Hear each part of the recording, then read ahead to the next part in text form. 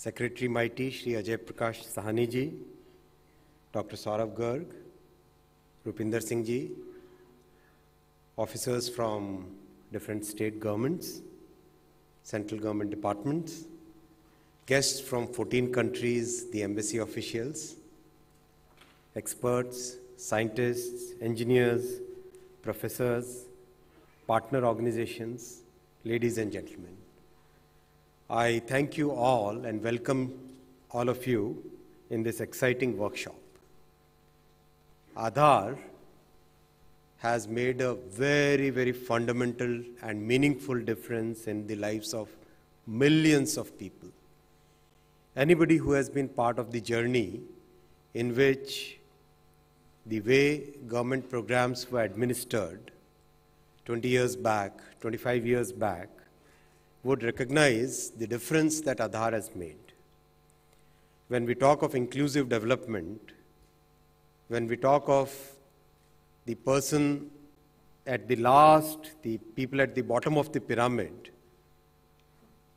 Aadhaar has made such a substantial difference in such people's lives that it cannot be expressed in words.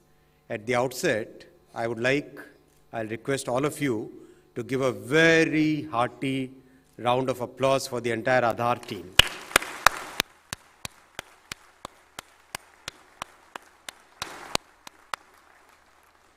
Thank you. I think the Aadhaar team deserves it very well. Lots of people contributed to, to this journey. Mr. Nilekani, a legendary person, in fact, I used to meet him when he was doing this architecture. What an exciting, what a scalable architecture the team made. Mr. R.S. Sharma, Mrs. Ganga, present in this. Lots of people I remember from those early days. Mr. Ajay Bhushan Pandey Saab, Dr. Pandey, you're present there? No. Many people who contributed silently slogged, worked hard, made sure that this is made possible. And this change, if you ask me in one small word, the change is meaningful because there was a serving prime minister of this country who had to admit that when we send 100 rupees from Delhi, only 15 rupees reach the remotest corners of the country. That difference could happen, that thing could change primarily because of Aadhaar. So this is the journey so far. From here, where do we go? I am so grateful to all of you that you took out time and decided to put in your energy and thoughts in charting the course of Aadhaar in the coming years. I'll just leave three thoughts with you. There are many countries who are in the same journey as India is. We have similar economic challenges, social challenges, political challenges. Can we use Aadhaar? Can we use this architecture? Can we use this technology for making a meaningful difference in the people living in those geographies? That is one point I'll request all of you to consider. This is a technology which is agnostic to geographies, which can be easily transported, easily used, easily scaled up, and can make a big difference in many other people's lives. So why should we leave that opportunity? And how to use that opportunity is what I'll request you to think about. It also brings the point that do we need as a globe which is increasingly getting digitalized, as a society, as a civilization, as humanity, which is getting increasingly digitalized, do we need some sort of international identification standards?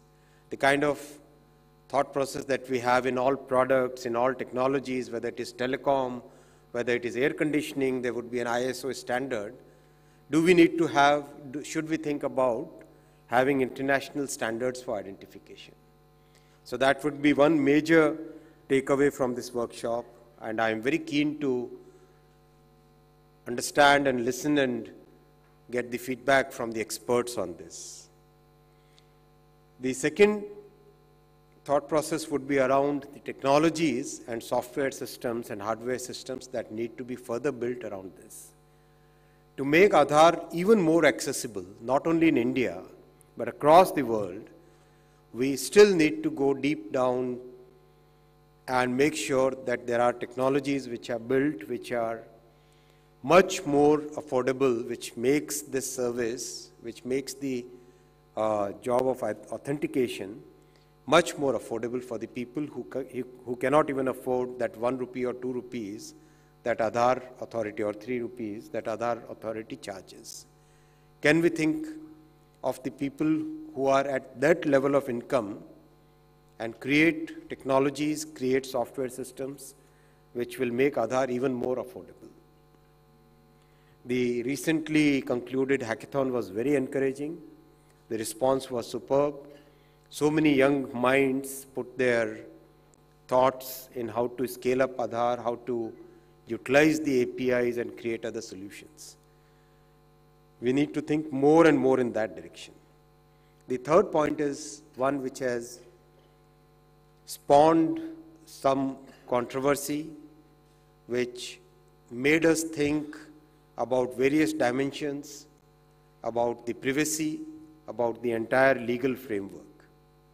I'm so glad that today the legal framework is very well settled. Whatever doubts we had, whatever doubts other people had, have been addressed by the sheer sincerity of the government and the authority, UIDAI, and the ministry that we are not here to invade anybody's privacy. We are here to help the people who, who deserve to be helped. We are here for inclusive development. We are here for what we call Antyodaya. In the West, we call it inclusive development. In our country, we call it Antyodaya, which basically means considering the people who are at the furthest end of the society, who are the last in the queue, who are the most marginalized people, thinking about those people, thinking about those sections of the society, and providing a service to those sections which really needed it. And it was from the experience of many of us who have worked in the remote parts of India, today because of Aadhaar, such people are able to get services in the remotest parts of the country.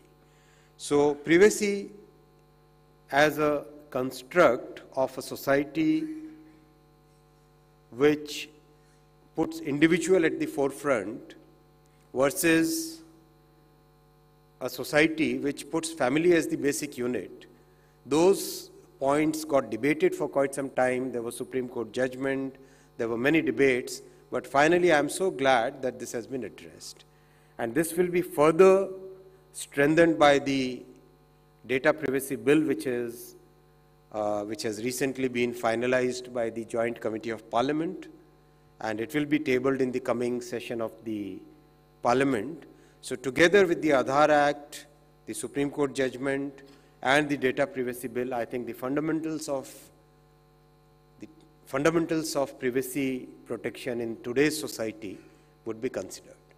So with these three thoughts, I once again welcome you to this workshop, and I hope that the deliberations over the next two years, uh, two days, would be very meaningful. I look forward to hearing from Mr. Garg what, what actually transpires here, and we would be very keen to implement your suggestions. Thank you very much.